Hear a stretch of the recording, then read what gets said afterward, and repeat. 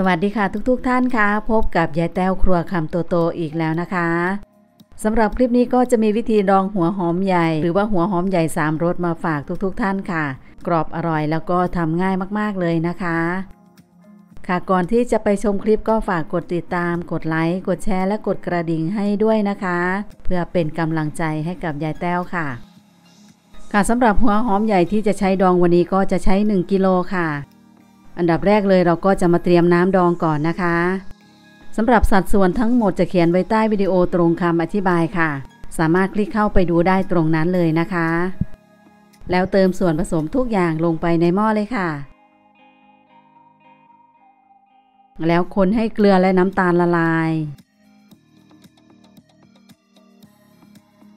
และสำหรับส่วนผสมอีกอย่างหนึ่งก็จะเป็นน้ำผึ้งค่ะสำหรับขั้นตอนนี้ก็อย่าเพิ่งเติมลงไปนะคะ แล้วนำน้ำดองขึ้นตั้งไฟ เปิดไฟกลางแล้วก็รอให้เดือดค่ะ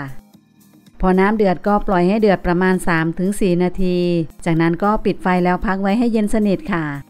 ระหว่างที่รอเราก็จะมาปอกหัวหอมกันต่อค่ะ ปอกส่วนที่เป็นสีน้ำตาลและสีเขียวออกให้หมดเลยนะคะ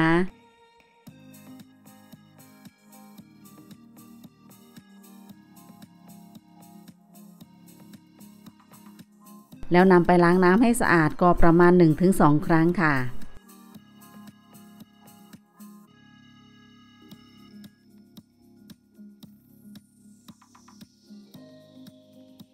เสร็จแล้วก็จะพักไว้ให้เสด็จน้ำส่วนของน้ำดองอุณหภูมิก็ลดลงแล้วนะคะ จากนั้นก็เติมน้ำผึ้งลงไปค่ะ แล้วคนให้เข้ากันหรือว่าคนให้น้ำพึ่งละลาย สีของน้ำดองก็จะเป็นสีเข้มขึ้นแบบนี้ค่ะ เวลาทำออกมาสีก็จะสวยแล้วรสชาติก็จะอร่อยขึ้นค่ะค่ะเสร็จแล้วก็จะมาเตรียมหั่นหัวหอมกันต่อค่ะหนึ่งหัวก็จะแบ่งออกเป็นสี่ส่วน แล้วแบ่งตรงกลางหัวหอมออกมาไว้ต่างหากค่ะ ส่วนนี้ก็จะกรอบมากๆเลยนะคะ และส่วนที่กรีบด้านนอกก็หั่นเป็นชิ้นเล็กลงแบบนี้ค่ะ กัดเสร็จแล้วก็จะได้ประมาณนี้นะคะ ชิ้นไม่ใหญ่เกินไป เพราะว่าเราใช้เวลาดองไม่นานค่ะ น้ำดองจะได้ซึมเข้าทั่วถึงทุกๆส่วนค่ะ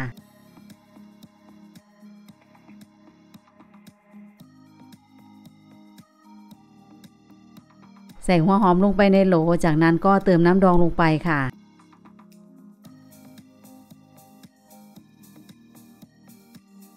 ก่อนจะเติมน้ำดองลงไปก็คนอีกเล็กน้อยนะคะ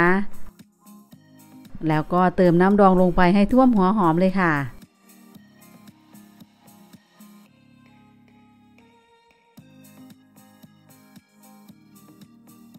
แล้วก็กดกลีบหัวหอมให้จมลงไปในน้ำดองทุกๆ ชิ้นเลยค่ะ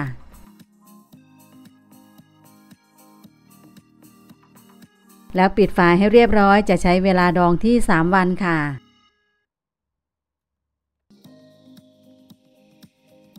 และนี่ก็ครบ 3 วันแล้วนะคะ สีของน้ำดองก็จะเข้มขึ้นนิดนึงค่ะ สีของหัวหอมก็จะขุ่นลงบ้างเล็กน้อย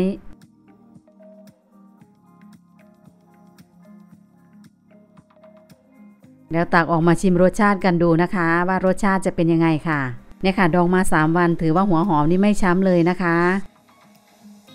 สีของด้านนอกก็อาจจะใสขึ้นแต่ก็ยังคงความกรอบอยู่ค่ะ สำหรับรสชาติก็จะมีความหวานของหัวหอมใหญ่ค่ะรสเครื่องปรุงก็จะออกอมเปรี้ยวอมหวานมีเค็มปนนิดๆ รวมๆ แล้วก็อร่อยมากๆเลยค่ะ พอได้รสชาติอย่างที่เราชอบแล้วก็ตักออกจากน้ำดองค่ะ ใส่โหลหรือว่าใส่กล่องไว้ ปิดฝาให้สนิทจากนั้นก็นำไปแช่ในตู้เย็นค่ะ สามารถเก็บไว้ทานได้เป็นเดือนเลยนะคะ สำหรับหัวหอมใหญ่ดองสามรสก็ไว้สำหรับเป็นเครื่องเคียงทานแก้เลี่ยนค่ะ หรือว่าทานกับน้ำพริกก็อร่อยไม่แพ้กับผักดองเลยนะคะ ก็ลองไปทำวิธีนี้ทานกันดูค่ะ ค่ะเคล็ดลับดีๆ แบบนี้บายยายแต้วครัวคำโตๆขอบคุณสำหรับการติดตามพบกันใหม่คลิปหน้านะคะ สวัสดีค่ะ